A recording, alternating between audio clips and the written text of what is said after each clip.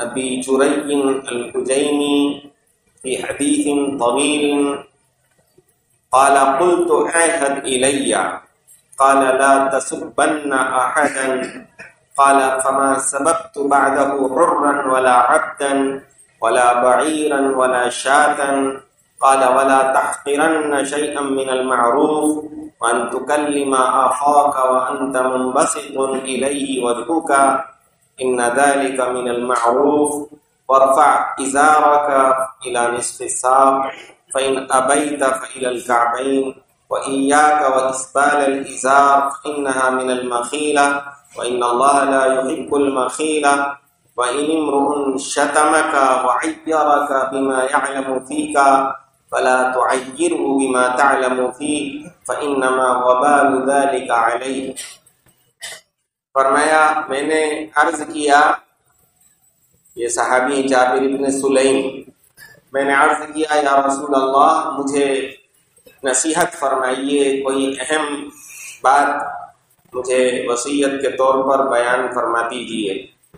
तो फरमाया, ला तसुबन न अहदन, किसी को गाली न दे। ये वसीयत फरमाई हजूर सल्लल्लाहु अलैहि वसल्लम ने, किसी को गाली न दे। वो सहाबी कहते हैं उसके बाद मैंने न किसी आज़ाद इंसान को गाली दी, न किसी गुलाम को गाली दी, न ऊँट को, न बकरी को। किसी को गाली नहीं दी हम लोग। ऊँट, गाय, बैल, बकरी, बल्कि जो बेजान चीज़ें होती हैं, मशीन नहीं चल रही है, उसी को गाली दे देते हैं। बाद लोगों की आदत ऐसी होती है, मुँह पर गाली चढ़ी होती है, मोबाइल नहीं स्टार्ट हो रहा है, उसको गाली दे दी तो फरमाते हैं कि उसके बाद मैंने किसी को भी गाली नहीं दी। आपने आगे फरमाया था कि वला तकरन मारूफ, के नेकी में से किसी चीज़ को हकीर न समझना। चाहे ये हो कि अपने भाई से बात करो खिले हुए चेहरे के साथ। हशाश, बशाश होकर, बशासत से उससे बातचीत करो, ये नेकी भी बड़ी नेकी है, इसको भी कम मत समझना। और आगे फरमाया, बस औरफा इजारा का इलानिसा अपना पायजामा या लुंगी या पैंट, जो भी पहनो, उसको निस्फ पिंडली तक रखना। पिंडली के आधी पिंडली।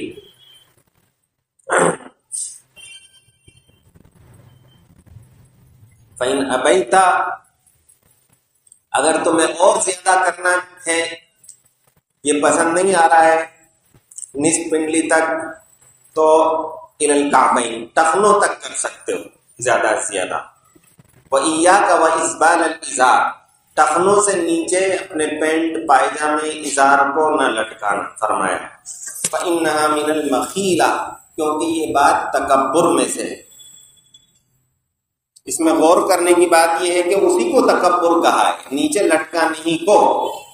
इन्ना मिनल मखीला, क्योंकि ये तकबर में से है।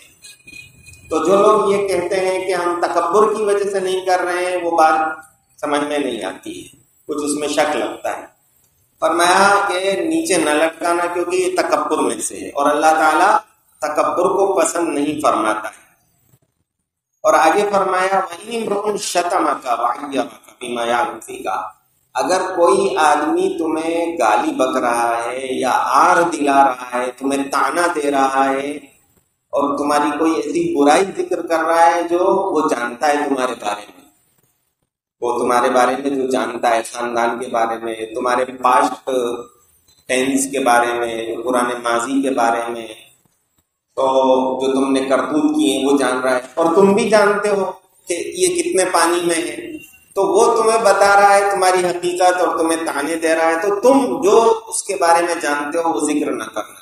वो छुपा लेना जश्न पोशी कर लेना उसको कहने देना तुम मत बदला लेना और तुम उसको आर ताना ना देना जो तुम जानते हो उसका वबाल उसको पड़ेगा अहम नसीहतें थी दूसरी रिवायत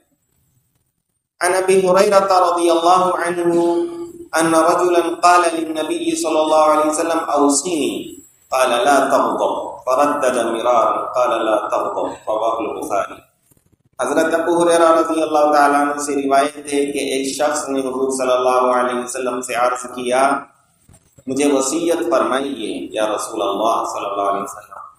आप सल्लल्लाहु अलैहि वसल्लम ने फरमाया गुस्सा ना किया करो।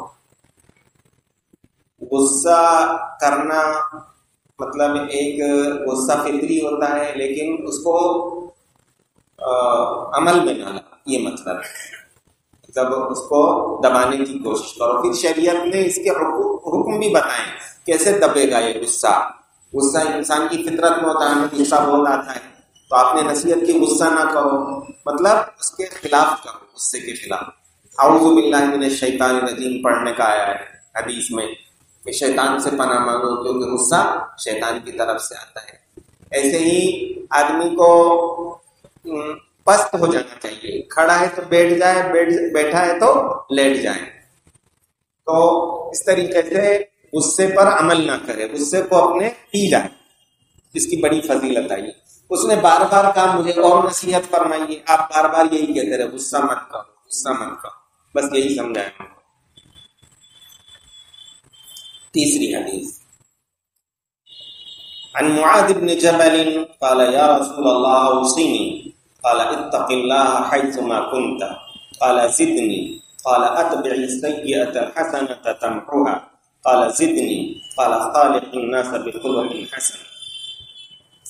मुआजिब ने जबल रजी अल्लाह तआला से रिवायत है कि उन्होंने कहा या रसूल अल्लाह मुझे वसीयत फरमाई तो कहा कि जहां भी रहो अल्लाह से डरो अल्लाह का पाक लिहाज रखो ये समझो कि अल्लाह तुम्हें देख रहा है।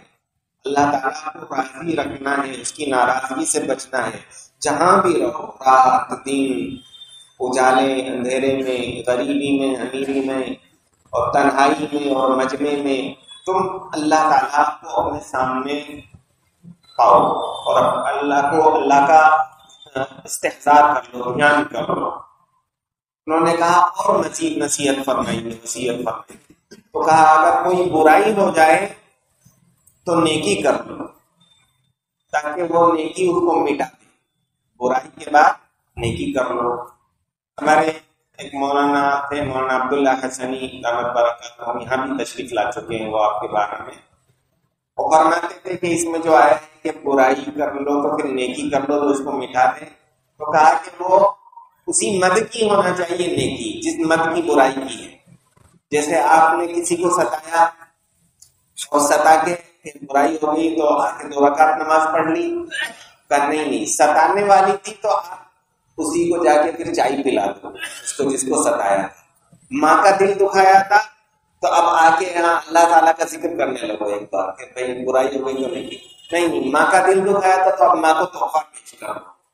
फिर उन्होंने मिसाल देते थे वो, कि जैसे पहले कैसेटें आती थी तो जिस कैसेट में आपने गाने या गाली बद भरी है, उसी में आप रिकॉर्ड करके दूसरी नाच भर दीजिए तो वो वो डिलीट हो जाती थी, वो नहीं चढ़ जाती थी। अब आपने इस कैसेट में तो गाने भरे, दूसरी कैसेट में आपने वो नाच रिकॉर्ड की तो वो तो बाकी रही, वो आती थी दूसरी भर गई। तो उसी जगह डिलीट करना पड़ेगा। उसी कैसेट में उसको करना पड़ेगा। तो जैसी बुराई की है, वैसी नेकी करो। उन्होंने कहा कि मजीद आप वसीयत फरमाइए ने जबल ने कहा। फरमाया, आप सल्लल्लाहु अलैहि वसल्लम ने हसन के लोगों के साथ अच्छे अखलाक का मामला करो। अगली रिवायत भी हज़रत मुआज जबल के बारे में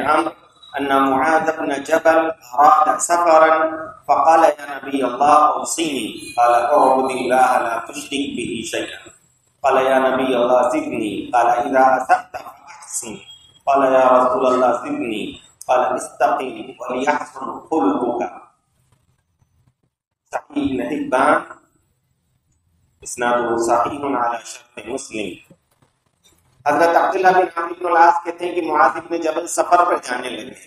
शायद यमन का सफ़र था, आपने इनको भेजा था यमन का गवर्नर बनाकर। तो सफ़र पे जाने लगे तो कहने लगे, या रसूल अल्लाह मुझे वसीयत फरमाइए। तो ये सारी वसीयतें हो सकता है उसी वक्त की हो। तो कहा कि आप वसल्लम ने वसीयत फरमाई कि अल्लाह की इबादत करना, उसके साथ शिरक ना करना। शिरक से बहुत दूर भागना कोसों दूर रहना। किसी भी हाल में अल्लाह ताला का शिरक भी कई तरह का होता है। एक तो साफ़ सजदा कर लिया और औलाद मांगी नफा नुकसान का मालिक समझ लिया, दुआ कर ली किसी से। ये तो साफ़ शिरक है। एक ये है कि आपने नमाज़ में रियाकारी करी तो इसको भी छोटा शिरक फरमाया है कि अल्लाह के अलावा दूसरे को शरीक कर लिया आपने अपनी इबादत में, उसको दिखाने के लिए कर दिया। तो छोटे शिरक से भी बचना चाहिए, बड़े शिरक से भी बचना चाहिए। उन्होंने कहा कि मजीद और कोई नसीहत। तो फरमाया, जब बुराई हो जाए तो भलाई कर। लो तो कहा कि मजीद तो कहा, इस्तेकामत रहो यानी सिरात मुस्तकीम पर कायम रहो। बात लोग क्या करते हैं? एक, उनके ऊपर वो जुनून, दौरा पड़ता है। दौरा पड़ा तो मस्जिद ही में रहेंगे और खूब तिलावत करेंगे और नमाज़ पे नमाज़ पढ़ते जाएँगे। फिर दौरा पड़ा तो फिर वो बाज़ार में जाके करने लगे फिर दौरा पड़ा तो वो कुछ करने लगे। तो कहा कि ये नहीं, सिरात मुस्तकीम पर कायम रहो चाहे ज़्यादा ना करो नवाफिल लेकिन फ़र्ज़ है, हराम कामों से बचना है, इन पर बस कायम रहो, सीधे रास्ते पर कायम और तुम्हारे अखलाक अच्छे होना चाहिए। और हदीसें, लेकिन वक्त ज़्यादा हो रहा है, अल्लाह ताला इन्हीं पर हमें अमल करने की तोहफी अता फरमाए। एक से एक चीज़ आती रहती है। जब एक चीज़ पर अमल करते हैं तो दूसरी चीज़ भी आ जाती है इसकी बरकत से। आखिर दावा